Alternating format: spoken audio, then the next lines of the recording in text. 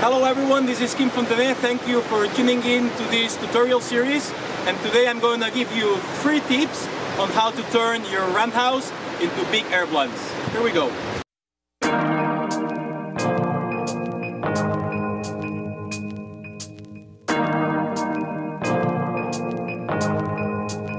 So the first tip today is going to be about the initiation stroke of the blunt, alright?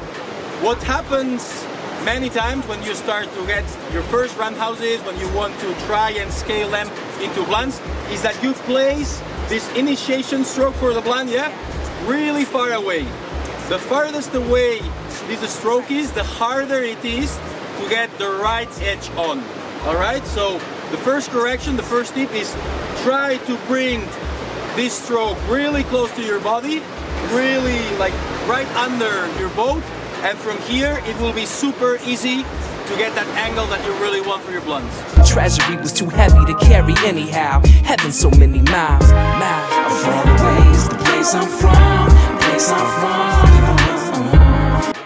So tip number two today is going to be about the trajectory of the boat once we're high up on the wave. You know that in many of the wave breaks we want to be really high on the front pile and then slide down the wave.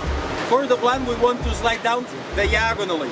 Alright, so we just don't want to blast down straight, we want to go like making a diagonal trajectory. And as we blast down in this diagonal trajectory we will dig our edge. Of course opposite edge as you want to go. If you want to go to your left you put your right edge in.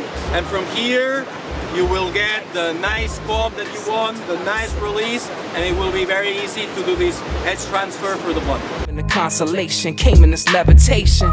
But I ain't want to speak of regrets. I made commitments I unyieldingly kept. F you see the rest, K, I'ma sleep in a second cause Alright, and third tip and last tip for turning your roundhouses into big ones.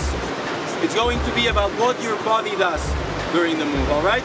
A lot of people think that the blunt is about, you know, getting a bounce and then like cartwheeling your nose down. This doesn't work. What works on the blunt, which is a very effortless trick, we want to, to we want the blunt to look effortless, all right?